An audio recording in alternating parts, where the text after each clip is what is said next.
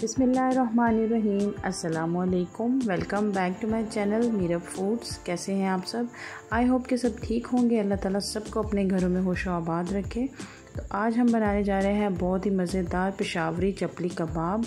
बहुत ही सॉफ्ट और जूसी बनते हैं ये। ऑथेंटिक रेसिपी आपके साथ आज शेयर करूँगी। तो वीडियो को कंप्लीट वॉच कीजिएगा। आई होप आपको रेसिपी बहुत अच्छी लगेगी। तो चलिए अब रेसिपी की तरफ़ चलते हैं। वीडियो शुरू करने से पहले मेरी आपसे रिक्वेस्ट है कि अगर अभी तक आपने मेरा फ़ूड चैनल को सब्सक्राइब नहीं किया तो चैनल को जल्दी से सब्सक्राइब कर लें और साथ में लगे बेल आइकन को भी प्रेस कर दें ताकि आपको आने वाली हर नई वीडियो की अपडेट मिल सके।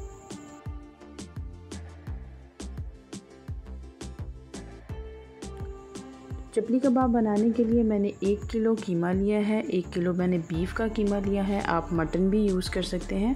और ये मशीन का निकला हुआ कीमा है, बिल्कुल इस तरह से बारीक पिसा हुआ कीमा आपको लेना है। ताकि आपके कबाब जो है वो बहुत अच्छे से बने। तो चले जी, अब इसमें मसाले ऐड करते हैं। वन टीस्पून हम इसमें नमक ऐड करेंगे। वन टीस्पून ही इसमें लाल मिर्चों का पाउडर जाएगा। हाफ़ टी स्पून हम कुटी हुई लाल मिर्च ऐड करेंगे। One teaspoon garam masala add करेंगे। वन टीस्पून हम इसमें धनिया पाउडर ऐड करेंगे। वन टीस्पून साबुत ज़ीरा जाएगा। इसके साथ हम इसमें वन मीडियम साइज़ के प्याज ऐड करेंगे। और प्याज को हम फाइनली चॉप करके ऐड करेंगे, जैसे हम ऑमलेट में यूज़ करते हैं और इसी तरह से हम दो हरी मिर्चों को भी चॉप करके डाल देंगे। वन टेबल स्पून अदरक लहसुन का पेस्ट ऐड करेंगे। कुछ फ्रेश हम कोरिएंडर इसमें ऐड करेंगे।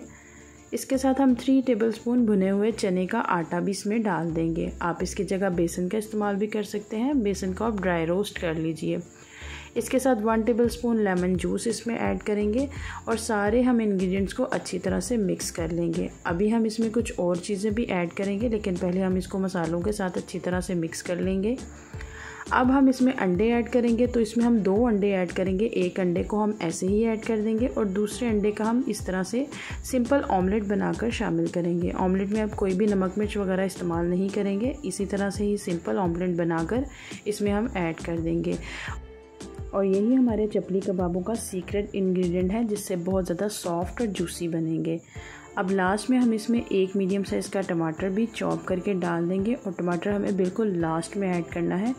टमाटर ऐड करने के बाद हम इसको एक दफ़ा से फिर मिक्स कर लेंगे और ये हमारा चपली कबाबों का मसाला बिल्कुल रेडी है।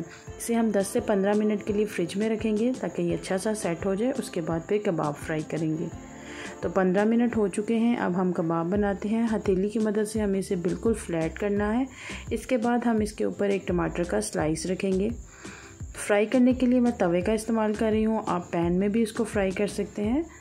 लो टू मीडियम फ्लेम पर हम इसे पलट पलट कर फ्राई करेंगे, ताकि ये जल ना जाए।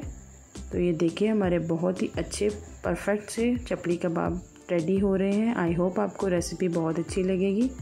आप इसे ज़रूर ट्राई कीजिएगा। तो इसी तरह से हम सारे कबाब फ्राई कर लेंगे। तो ये लीजिए, चपली कबाब बिल्कुल रेडी है। आप इसे पुदीने के रायते के साथ या फिर केचप के साथ भी इंजॉय कर सकते हैं। तो चपली कबाब की रेसिपी आपको कैसी लगी, मुझे कमेंट करके ज़रूर बताइएगा। वीडियो अच्छी लगी तो उसे लाइक कीजिएगा शेयर कीजिएगा अपने फ्रेंड्स एंड फैमिली के साथ। तो मिलते हैं नेक्स्ट वीडियो में। Till then take care thank you for watching अल्लाह हाफिज़।